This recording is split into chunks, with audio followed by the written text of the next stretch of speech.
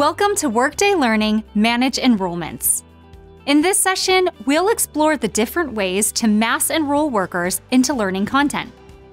We'll also discuss learning assignment records and their impact on canceling enrollments. Workday Learning offers flexible options for enrolling workers in learning content, whether it's for an individual or an entire organization. Managers can easily enroll their teams using the Enroll Workers functionality. You can also grant specific security groups access to the Find Workers to Enroll report for broader enrollment capabilities. Learning administrators have access to the powerful Learning Mass Enroll report, which overrides any established learning rules or conditions. Each enrollment method caters to different roles and purposes, so understanding their unique features is crucial for efficient and effective learning management. The Enroll My Team link, located on each course or program page, empowers managers to directly enroll their team members into learning content. This feature streamlines the enrollment process while adhering to any approvals that the Enroll in Content business process requires. It also respects course capacity limits, statuses, validations, and any learning rules associated with the content. Let's observe how Mark Navarro, the Director of Sales Operations in Chicago, enrolls his team in the Sales Knowledge course. Mark begins by navigating to the Sales Knowledge course page. In the lower right corner, he selects the Enroll My Team link. From the review page, Mark selects the team members he wants to enroll in this course. He can also assign their course as required learning, which he selects. In the due date section, he selects date as the due date type and sets a calendar date for completion. Now this course will display on each team member's required for you slider, which displays on their learning dashboard and homepage. This will display until they complete it by the specified due date. This ensures timely completion and keeps training requirements top of mind for Mark and his team. Mark is able to monitor his team's completion progress using the My Team's Learning report. You can also grant specific security groups access to the Find Workers to Enroll report, based on your organization's structure and business objectives. This type of mass enrollment, known as facilitated enrollment, is available to non managers. This includes security groups that support learning and development initiatives, such as learning trainers or HR partners. Facilitated enrollments ensure compliance with enrollment limits including capacity constraints, statuses, validations, business process approvals, and any associated learning rules. This controlled approach maintains the integrity of your learning content and promotes effective learning management across the organization. Workday recommends that learning administrators and their teams also have access to this report. This enables them to efficiently enroll workers while adhering to the established limitations. This streamlines the enrollment process and ensures proper resource allocation. Deborah Simpson, an HR manager who supports the learning and development initiatives at Global Modern Services, is part of the Learning Administrator Security Group. She needs to enroll regional sales managers located in Chicago into the Sales Protocol in person course, while still adhering to capacity limits. She begins by navigating to the Find Workers to Enroll report, in the left panel, she uses the facets to locate her target audience. After selecting all three results, she selects the Select Learners button. Next, in the Learning Content field, Deborah selects the Sales Protocol in person course.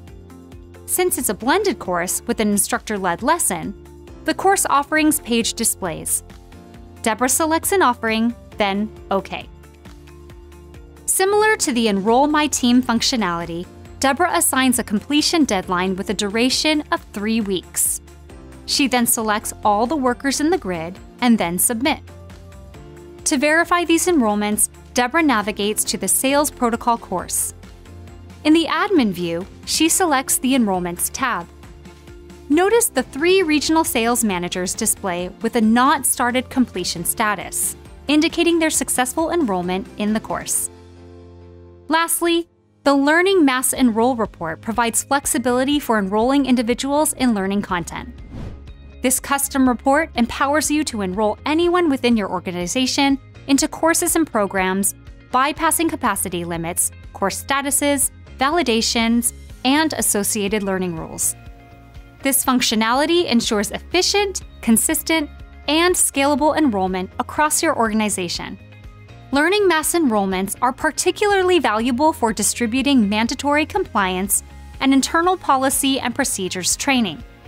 It's also helpful when managing large scale learning events, such as webinars or town halls. This approach simplifies enrollment management and ensures broad access to critical learning content. To demonstrate this concept, Deborah mass enrolls the Sales and Marketing Supervisory Organization into the Welcome to Sales program. Deborah navigates to the Learning Mass Enrollment Report and uses the facets to identify her target audience, selecting all 75 results. She then selects the Learning Mass Enroll button. In the Learning Content field, Deborah selects the Welcome to Sales program and assigns a due date of one month to all workers in the grid. Again, Deborah verifies these enrollments from the Programs page Enrollments tab. Now that you understand the various mass enrollment options available in Workday Learning, it is crucial to understand learning assignment records for effective learning management. Whether initiated by a manager, learning administrator, or another authorized group, the enrollment process includes the option to make the learning required and to set a due date. Once you designate it as required, the enrollment generates a learning assignment record, and the learning content displays on the learner's required for you slider. This assignment remains open until the learner completes the content or the assignment is waived.